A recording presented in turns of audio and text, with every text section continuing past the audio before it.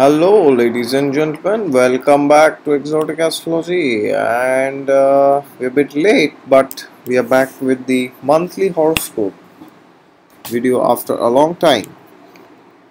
So today we are going to discuss about uh, the month of April and uh, the conjunctions and the placements that are happening during this time. So you can see this chart. This is from drikpanchang.com and uh, this is for 1st of April and uh, you can see the energy of Pisces is quite uh, heavy. And uh, the energy of Capricorn is also quite heavy. Because we see there is an exalted planet in Pisces which is Venus and then there is a planet which is in debility which is also in Pisces. So Mercury is debilitated in Pisces and he has just entered Pisces on 1st of April. And um, Venus is uh, in 19 degrees okay? And what about Sun? He will be somewhere in between so he's in 17 degrees. Now uh, interesting is we see this moon month started with uh, the conjunction of uh, Mars and Rahu are very close on 28th of March.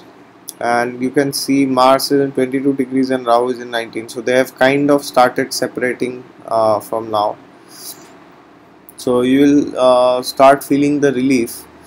So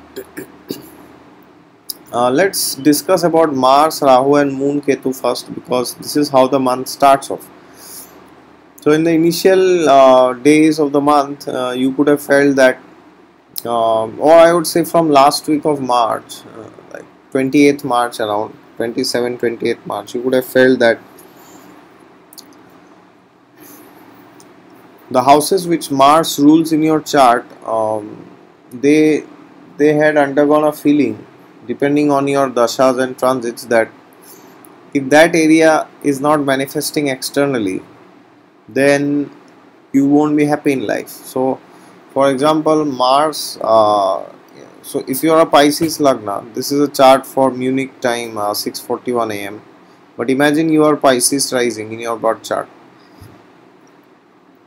Then which houses does mars rule in your chart? Mars rules the uh, second house and the ninth house okay 1 and 8 these are ruled by Mars. So you would have felt uh, that something to do with your family or savings or accumulated wealth or anything to do with uh, the ninth house which is fathers gurus teachers preachers counselors.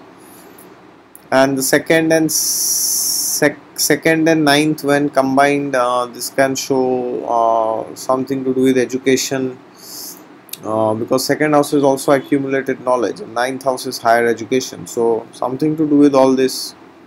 Maybe you are trying for a degree abroad or you are trying to do your masters anything of that sort.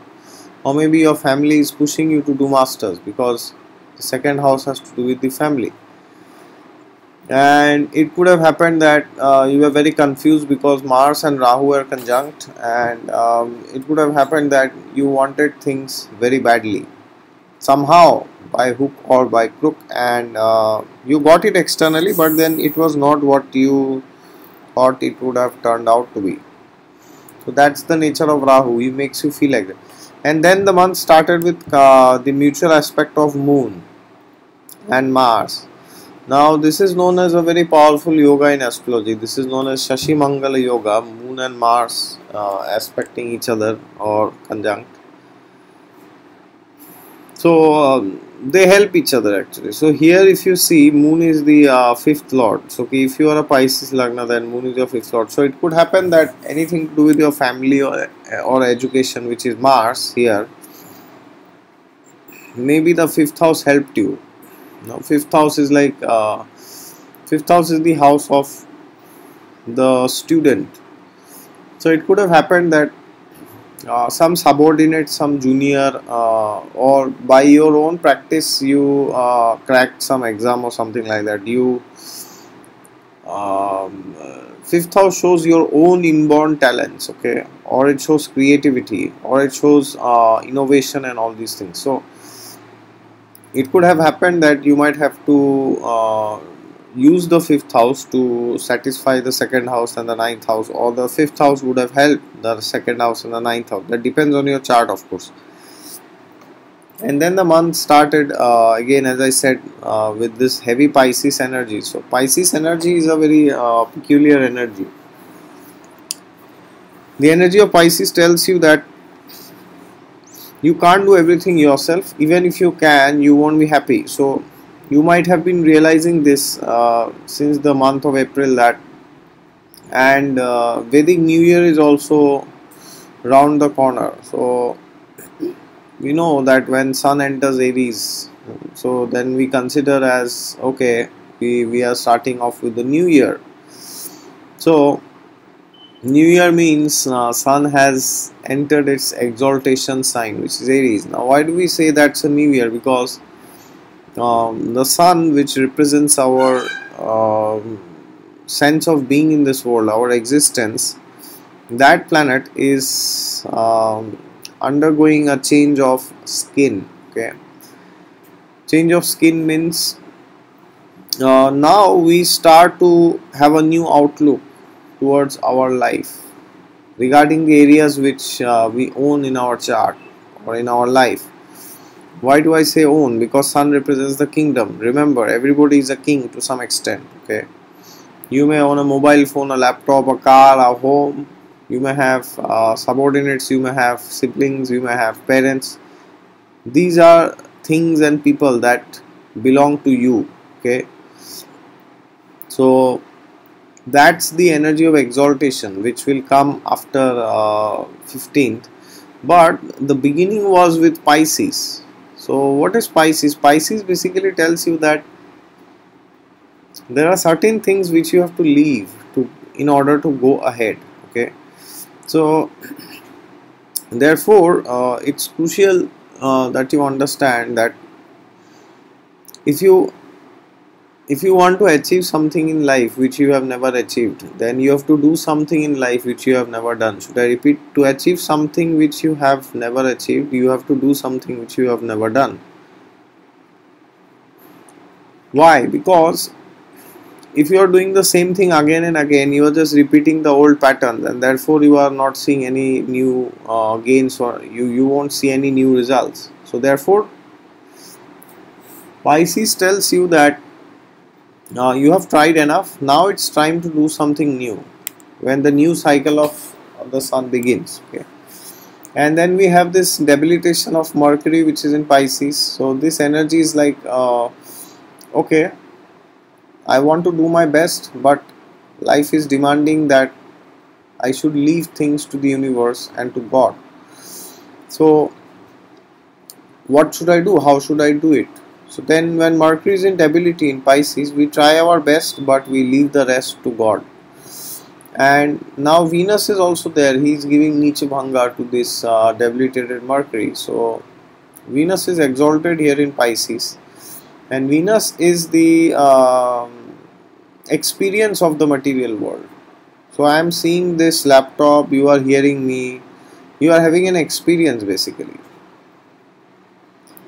So that experience is um, any experience that you have good, bad, nice, not nice, excellent, horrible, everything is Venus because Venus represents Taurus and Taurus represents the senses whenever you see something, when you smell something, when you eat something, when you touch something, when you hear something, everything you are doing through the senses.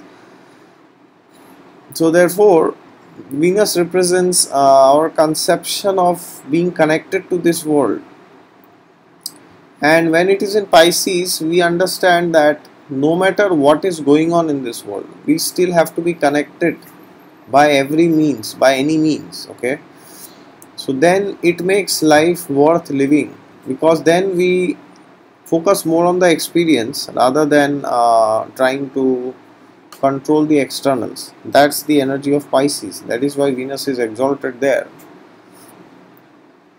And he's helping mercury which means he's indicating to your brain that yes uh, you may not understand what should you do now because the new cycle of the sun is going to start. But whatever you can you should do it and you should be satisfied and you should take it as an experience take it as a lesson. You may not be successful externally but even if you are not then also you should take it as a lesson as a life lesson and not think that uh, if only this could have been like this if only this could have been like that okay? So this is how the month starts. So basically this is a, a combined energy of uh, moon moon ketu and mars rahu beginning with uh, sun mercury venus in pisces. So this gives us a feeling that there is a desire to control things externally but then uh, we realize that we need to let go and surrender and take every experience the way it is rather than trying to change it this is the lesson of Venus in Pisces. And apart from that, we see Rahu is in Taurus and uh, Ketu is in Scorpio. So, um, so therefore, these these two placements are uh, also indicating the energies of Mars and Venus. So Rahu is in the sign of Venus and Ketu is in the sign of Mars. So this conjunction becomes further more important because now what happens is we uh, come to know that uh, this this moon mars mutual aspect which happened is actually a way to understand what our mind actually wants and what other resources that are available to us okay?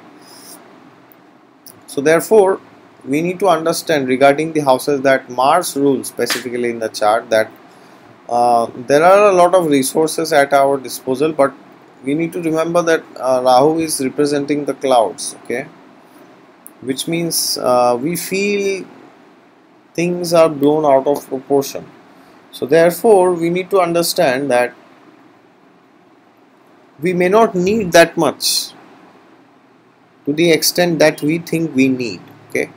So when uh, Rahu is conjunct any planet in transit it is best to check what are your needs compared to what are your wants because wants are unlimited but needs are needs are always limited okay? So therefore uh, try to focus on the things that you need rather than trying to focus on the things that you want okay? Because wants are endless. And then of course Jupiter uh, was in debility but now it has uh, from 5th 6th of April it has gone into Aquarius. Uh, I won't speak much about it here. I will make a separate video tomorrow.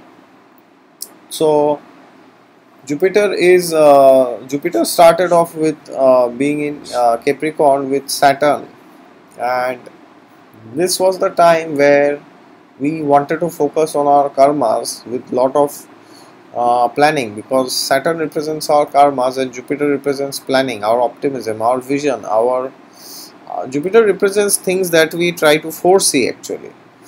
So this is representing a time where uh, of course this is a very uh, conflicting energy of the month that the Pisces energy is very heavy which tells you that take life the way it is enjoy every experience. At the same time uh, we have this Capricorn energy which tells you that no you need to go and finally get the results okay? Capricorn is a very result oriented sign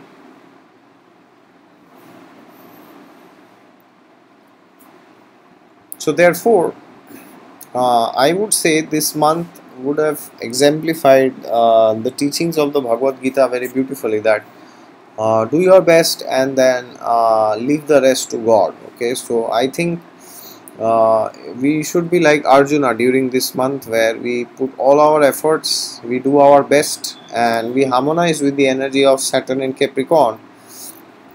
And apart from that we realize that the Pisces energy is demanding us to take every experience the way it is and not uh, focus on the externals okay? And then later on Mars will also move into Gemini and uh, I will make that video separately and Jupiter in Capricorn's video will also come out okay? So therefore uh, wish you all a very very very happy Vedic New Year and uh, I hope if you're new you have subscribed to my channel and if you want a consultation from me you will find the link to my website down in the description box of my videos okay? God is there with you. All the time just look to him and you will find him